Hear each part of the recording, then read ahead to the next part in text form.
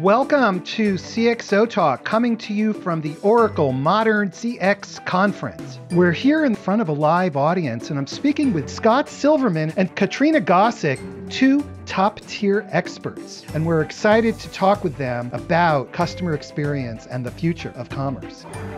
So, I think if we are talking about commerce and the future of commerce, we should start with a discussion about customers. And so the question that we have to begin with is what's going on with customers today? How are customers changing and their expectations changing? To me, the one word that stands out is impatient. Um, I, and I feel it myself all the time. I, when I look at, especially around fulfillment and delivery, my, if I see that it's going to take two days to leave the warehouse and another four or five days to get to my house. I'm outraged. Products available on Amazon, for example, that are now available in same day delivery or you know one day delivery. It's it's really unbelievable and it's fueling, I think, a lot of impatience. I would agree with that. I think there's definitely a sense of everything has to be right now all the time. And I would just add to that that I think the other expectation on top of that is just everything needs to be frictionless. Um, you know, payments need to be easy shipping needs to be easy i need to find the information easy i need to you know get what i need uh, quickly. Um, so yeah i would say immediacy and, and, frictionless is definitely at the core of co- consumer relationships these days. Customers are impatient they're not willing to wait and they simply want things to be as easy as possible. And if they're not easy they're going to click from your site to your competitor's site i think customers own the brand for that reason you know they have the ability to change how others perceive you as well. So they hold a lot of power because they can jump from your site to a customer to another uh, website very easily and very quickly. There's a lot of choice. So I, the key is to keep their attention. Scott, Katrina said something quite interesting. She said consumers own the brand. So what does that mean? Consumers own the brand. The days of the brand uh, from on high you know, managing, being the tastemaker, dictating how the customer is going to interact with them. There are that's so far long gone. If you look at all the different interactions with uh, you have with a company, I think the company's job is to own as many of those moments as possible. So whether you're interacting with a sales associate in a store, or whether you're on a website or using your mobile phone to get information, or searching on Google for the product. I think it's really the brand's job to own those moments because if you don't, then somebody else is going to. So, are we talking here about availability of information and about touch points? Are these the two key issues that you're that you're both getting at? You want to have the information you want on your mobile phone, you know, like Katrina was saying, from the store associate. You want that store associate to be smart. You want them to recognize who you are. If you have a past history there, uh, it can be really frustrating if that's not recognized, or you want to know quickly is that item in the back room or not? You know, if I don't see it on the shelf, uh, don't take two or three minutes to go back and look. Tell me immediately uh, or I'm, I'm going to lose my patience and go elsewhere. I'm going to walk out, or I'm going to go find somewhere else to shop. So it's not just availability of information, but there's also a major technology component that feeds into this as well. Like you, like you just mentioned two things. You mentioned performance, performance needs to be there, and you mentioned mobile. I think the key is to really understand your customer and then use technology to unlock the relationship with them. The way I see technology playing a role in this interaction with, with consumers. So all of these are, can we say, different facets of creating that and, and keeping that customer relationship going. It's about selling solutions, not selling products. Or for the retailer, it's about using and, and like building solutions and, exper- and experiences, not like, oh, I just ha- checked off the box of I'm now using this kind of product and i have enabled that uh, or implemented it in some way. It's it's that's, a, I think, a really backwards way of looking at it. So when you talk about building solutions, not products, or from the retail point of view, creating broader end-to-end experiences, why is this so hard?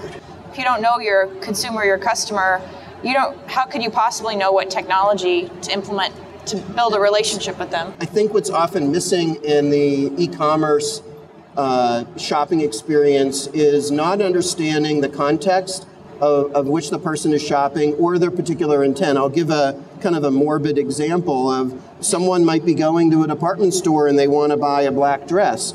Well, they could be buying that to go to a cocktail party or they could be buying it for a funeral. And those those are completely different set of circumstances. And I think if you're face to face with someone in a store, you can size up what's going on. Um, when they're interacting with you in a, with a digital interface, it's really hard. But I think the technology is getting there. Or there's are ways to get some little clues along the way so that you have a better understanding of that context and the circumstance of that customer than they're, when they're shopping with you for me, it's more understanding, you know, how what technologies your customers are using and then implementing an, an ecosystem that interacts with them. So, for example, um, you know, if you know they are an influencer, let's say, you know, track what they're doing on social media, try to find a way to connect it to the store, try to find a way to get them to write reviews to bolster the brand data influences some of it, but I think it, uh, it also has to do with understanding um, the context and where your customers are interacting with you. And Scott, you brought up that term context, and Katrina is describing a more holistic view of the customer. Does that cover what you meant by, by that context? Context would be the example of um, someone's shopping with you, are they in a hurry or are they browsing? How do you know when that interaction is happening? And I think the holistic view you've got to take into consideration what they may have looked at, where they looked at it, uh, what's their relationship with that particular retailer to be able to um, have the right kind of interaction with that with that customer. How can a retailer maintain its brand through all of these very fractured set of interactions that customers have with them. If customers are trying to find you online, content is going to drive eyeballs to the site. So making sure you're showing up in Google searches.